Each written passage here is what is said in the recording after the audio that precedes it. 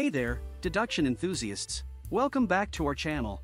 I'm John, and today we've got the inside scoop on Ron Kamonohashi's Forbidden Deductions Episode 9. I know you've all been eagerly waiting, so buckle up as we explore when it's dropping and dive into some exciting plotline speculations. But before we jump in, don't forget to hit that subscribe button and ring the bell to stay in the loop. Let's get started!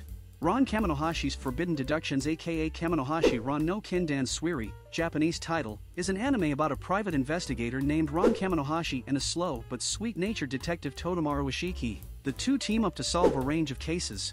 It is adapted from the manga Ron Kamonohashi, Deranged Detective by Akira Amano.